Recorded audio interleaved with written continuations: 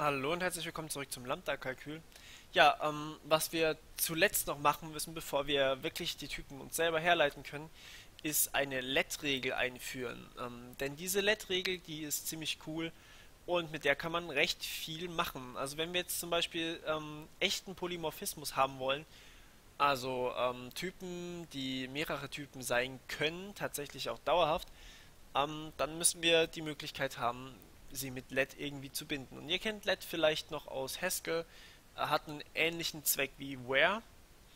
Ähm, ja, die LED-Regel sieht so aus, also ich zeige es euch tatsächlich mal hier an der Regel selbst, das habe ich ja die letzten paar Male nicht gemacht, ähm, sondern habe euch immer, äh, ja, ich schiebe das noch ein bisschen hier rüber, habe euch immer ein Beispiel gegeben. Ich würde sagen, ihr seid fit dafür, dass ihr das hier ohne Beispiel hinkriegt.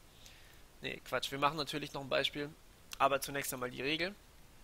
Ähm, und zwar haben wir hier, sagen wir mal, irgendeinen Typkontext. Das wäre dann die 218, glaube ich, war es. Ja, genau.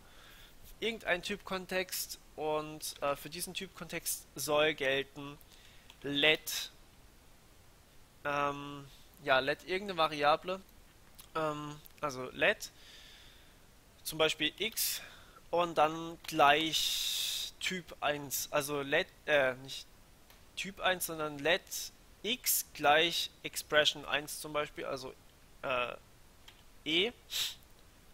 Also wir sagen, x soll e sein und zwar worin? Naja, im folgenden Term, nämlich e2, also f.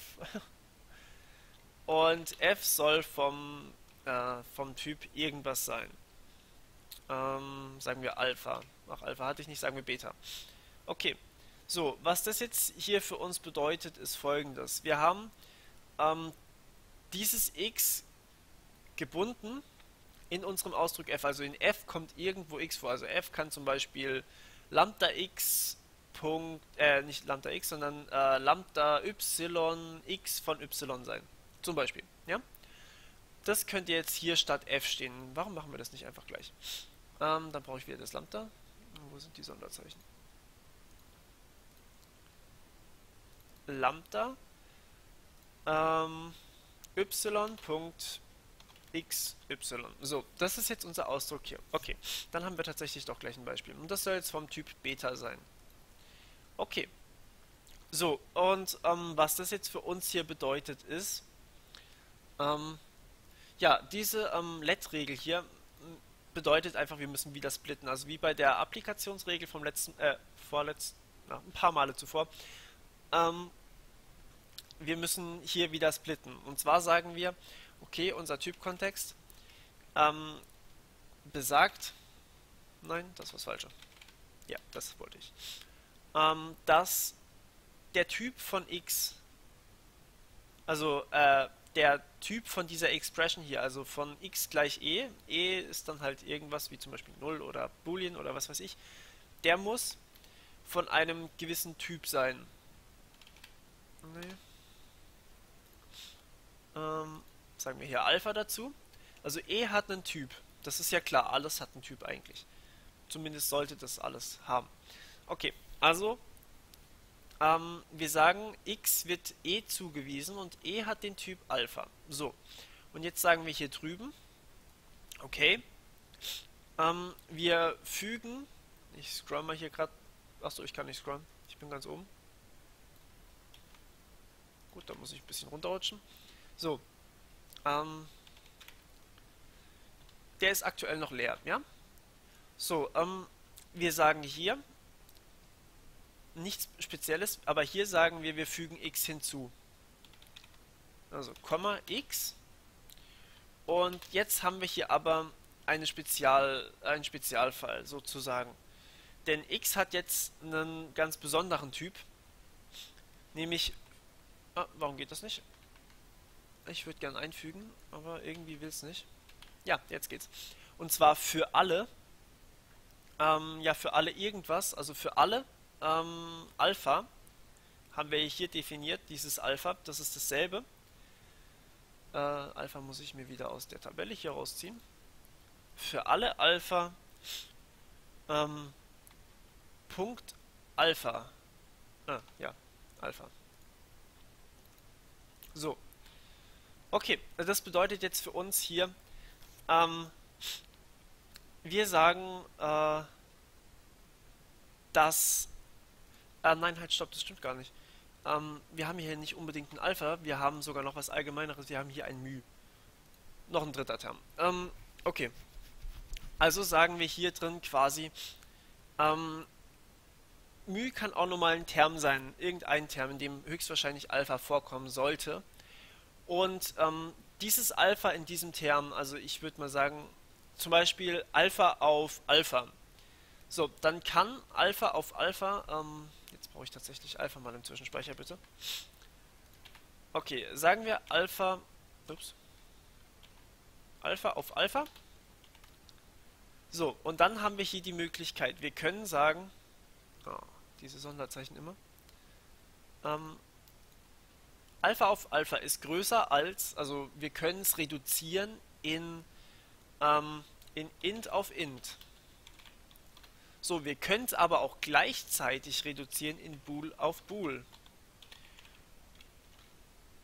Äh, hier soll natürlich der Pfeil sein. Und ähm, das ist das Coole dran, wir können hier tatsächlich für x jetzt mehrere Typen einsetzen. Also x kann einmal äh, int nach int sein und einmal kann es bool nach bool sein und einmal kann es von mir aus, keine Ahnung, irgendein anderer Typ haben, char auf char zum Beispiel. Ja, und ähm, dadurch lässt, lässt sich dann halt wirklich diese Polymorphie realisieren und ähm, ja, man kann einiges damit machen. Okay, wir machen hier einfach mal weiter. Also wir fügen dieses x in unseren Typkontext hinzu. Ähm, ich kopiere deswegen gerade mal hier das Ganze nach oben. Und ähm, dann sagen wir noch, es muss dann auch noch gelten, dass ähm, der zweite Term hier, also dieser Lambda-Term, dieses, ähm, das hier, muss vom Typ Beta sein. Das ist ja eigentlich schon klar, das war uns eigentlich auch schon bewusst. Äh, das steht ja hier mehr oder weniger auch. Gut. So, und jetzt können wir eben weitermachen.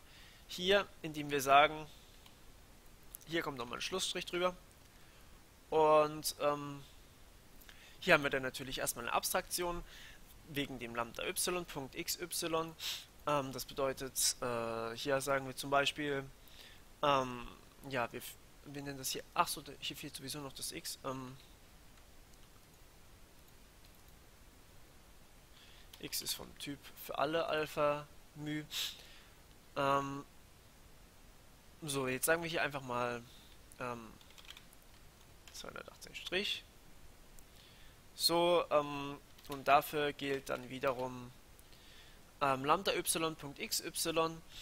Also ähm, sagen wir hier, wir fügen noch, ups, wir fügen hier noch, weil wir ja eine Abstraktion haben, y hinzu, denn das ist ja unsere lambda gebundene Variable und y muss vom Typ, ähm, was haben wir denn noch nicht? Ähm, Achso, ja, jetzt müsste hier nat natürlich dann ähm, Gamma, äh, wo habe ich das reingeschrieben? Hier habe ich es reingeschrieben. Bisschen komisch mit den Zellen. Hier müssten wir jetzt natürlich äh, eine, eine, Funktion haben, damit wir überhaupt was machen können mit dem y. Ähm, das bedeutet, wir müssen äh, hier noch eine neue Variable einfügen. Was haben wir denn noch nicht genommen? Nehmen wir hier Pi dafür. Okay, ähm, so. Jetzt ist y vom Typen ähm, von dem linken, also Beta 225. Ähm, und dann ist der Ausdruck xy vom Typ Pi. Pi, Pi, Pi, Pi. Pi, Pi, Pi. Hier. So. Das hier war jetzt die Abstraktionsregel und hier kann man dann jetzt wiederum sagen, ah, wir ziehen einen Schlussstrich und ähm, das das spare ich mir jetzt hier wieder hinzuschreiben. Also dieses y ist jetzt einfach vom Typ Beta. Und hier haben wir dann wieder eine Applikationsregel, ähm, die besagt hier erstmal, auf der linken Seite steht ähm, in unserem Fall x. Also hier steht dann, ähm, ich nenne es einfach mal Strich, Strich. Ihr könnt euch denken, dass ein Strich, Strich einfach y mit äh, Beta drin steht. Ähm, äh, was wollte ich jetzt hier schreiben? Genau, 195. Ähm, so, dann ist x vom, äh, der Doppelpunkt muss danach, x vom Typ, äh, ja, jetzt brauche ich noch einen Buchstaben. Ähm, nehmen wir doch einfach mal das Eurozeichen. Äh, vom Typ Euro nach, äh, was wir hier gegeben haben, also Pi. So. Und ähm, auf der anderen Seite steht, so und jetzt wisst ihr, warum die hier relativ eng werden. Schiebe ich das hier mal darüber. Das ist derselbe Strich hier. Äh, bitte ignoriert einfach, dass hier so ein kleiner Platz dazwischen ist. So, wir brauchen hier halt wieder eine Verzweigung, wie man es bei der Applikation immer habt, hat. Ähm, ja, und jetzt haben wir hier natürlich noch äh, 218 Strich Strich ist vom Typ, also was wir dann hier auf der Seite brauchen, das wisst ihr ja alles eigentlich schon. Y vom Typ ähm, Euro, äh, Euro, Euro, Euro, so. Okay.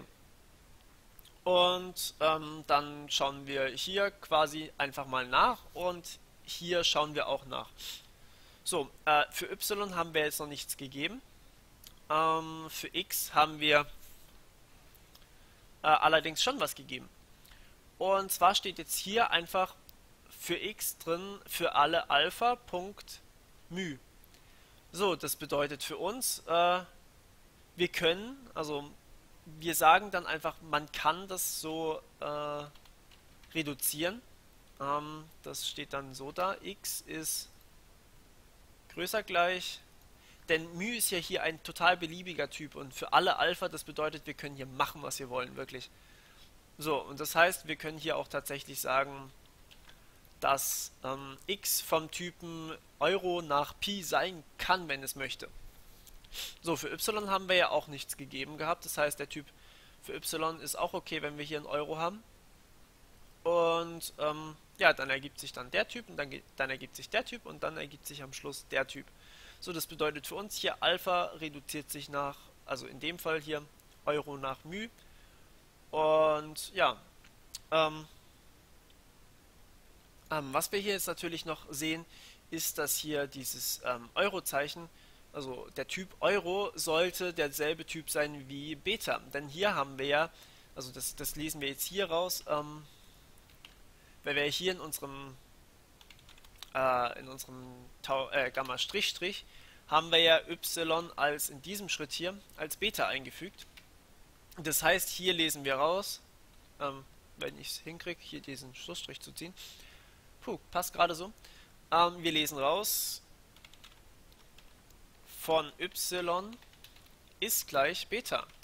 So, und dann kann man das Ganze wieder hier runter zu machen. Nämlich man sagt, ähm, okay, wenn hier y vom Typ Beta sein muss, dann muss hier auch gelten, dass Euro gleich Beta. Und überall, wo Euro ist, muss dann natürlich Euro als Beta umgetauscht werden. Das habe ich da reingeschrieben.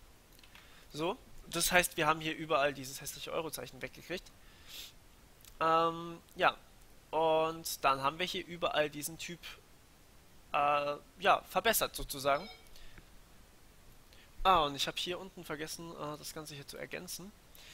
Ähm, dieses äh, Pi. Hm, wo machen wir das hin? Das muss hierher. Genau. So. Auf Pi muss das noch abgebildet werden. Ja, und jetzt ist das Ganze eigentlich relativ korrekt. Ähm, wir wissen also auf jeden Fall, dass es richtig typisiert wurde, wenn wir hier irgendeinen variablen Typ, also für, äh, für den Ausdruck hier nehmen, das hat irgendeinen variablen Typ und bildet auf irgendeinen anderen variablen Typ ab. Das können Funktionen sein, das können Integer, Boolean oder solche anderen ähm, Datentypen sein.